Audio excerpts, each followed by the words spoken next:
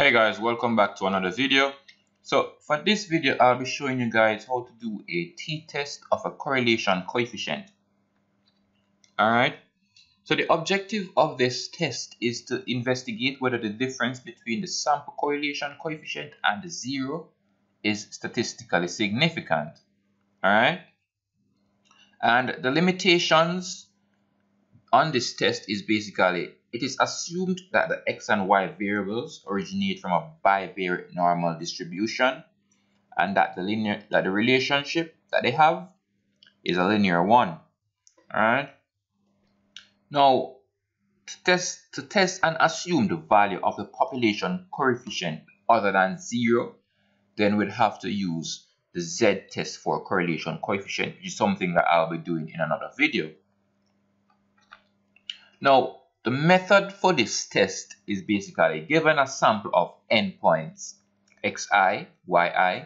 The correlation coefficient r is calculated from the formula r is equal to the summation of xi minus x bar times yi minus y bar all over the summation of xi minus x bar squared times the summation of yi minus y bar squared. And then we're gonna square root all of this guy so we just raise it to the power of a half. All right? And to test the null hypothesis that the population value of r is zero the test statistic t is given by t is equal to r over the square root of r minus r squared multiplied by the square root of n minus 2 alright which follows a t distribution with n minus 2 degrees of freedom. So we're just going to jump into an example a really short example. So Two popular brands of toothpaste was compared by consumers to see their preference for each product. Using the summary statistics provided, determine if the correlation between each brand is different from zero. So the summary that we are given, we have been given is that n is equal to 18 and r is equal to 0.32 and v is equal to n minus 2 which is our degrees of freedom and where r was pre-calculated using the r is equal to summation formula. All right? So first we want to set up our null and our alternative hypothesis. And basically our null hypothesis would be that h naught is such that r is equal to 0 versus h1 is such that r is not equal to 0. And we weren't given an alpha level in this example, so we're just going to go ahead and use alpha at, uh, say 90% confidence interval. So let's say alpha is equal to 90% confidence interval, all right?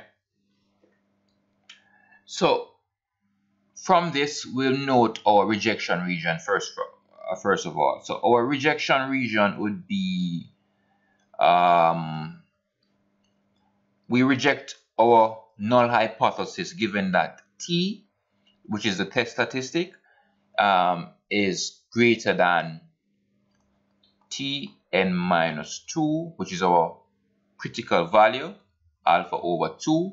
Now, given that this is a two-tailed test, we'll want to make this into a three-way inequality. All right, so this would be our minus t n minus 2 alpha over 2 greater than t greater than t n minus 2 alpha over 2 and this will be our rejection region.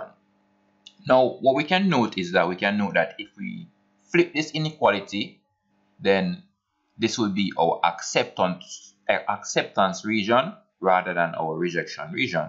All right so now we're going to go into calculating our test statistics, which is which is t is equal to 1 minus r over 1 minus r squared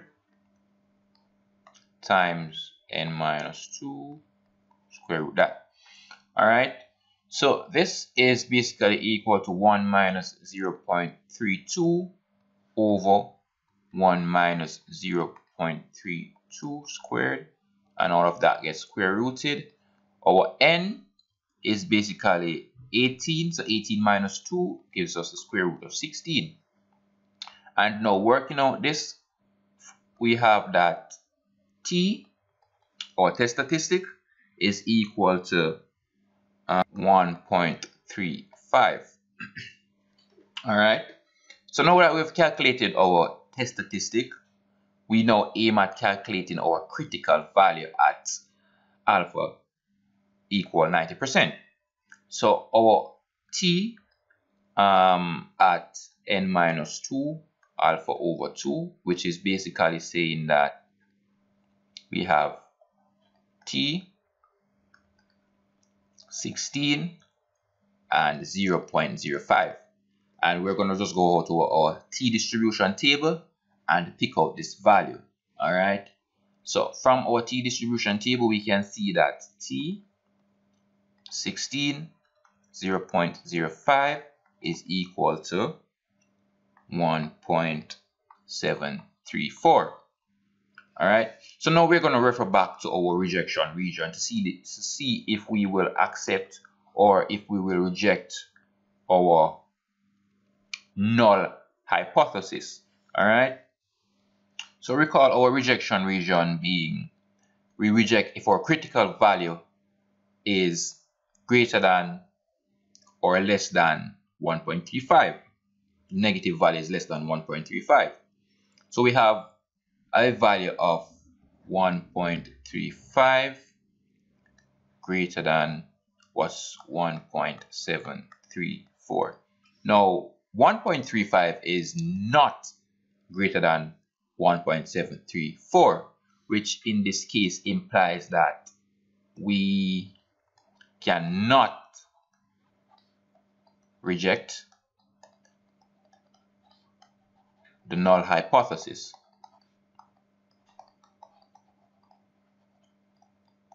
Right, so basically it is independent, the x values is independent of the y values. Alright, this is what this is basically saying to us right now. Alright,